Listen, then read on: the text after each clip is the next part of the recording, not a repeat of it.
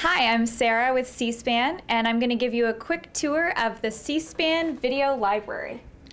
First, go to cspan.org, then go down to C-SPAN websites, where you can find C-SPAN's Video Library, direct link.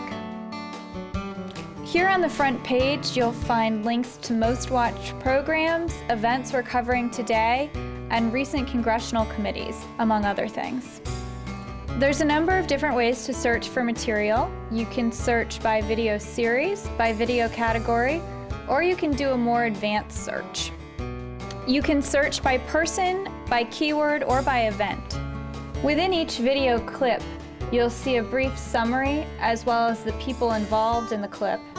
You can also watch it streaming using Flash. Joe Allbaugh is on your screen. He heads FEMA, the Federal Emergency Management Agency, and the administration. Another great feature of the C-SPAN video library is you actually have the ability to create your own clip from within any of our programming.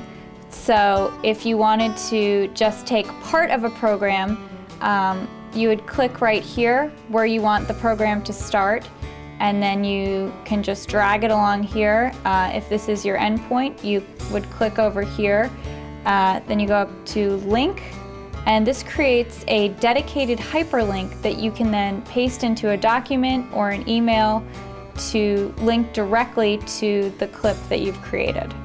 C-SPAN's video library will house all of our programming from 1987 until the present time. Right now we have over 150,000 hours currently available to search from. So those are just a few of the ways that we hope you can use the C-SPAN video library.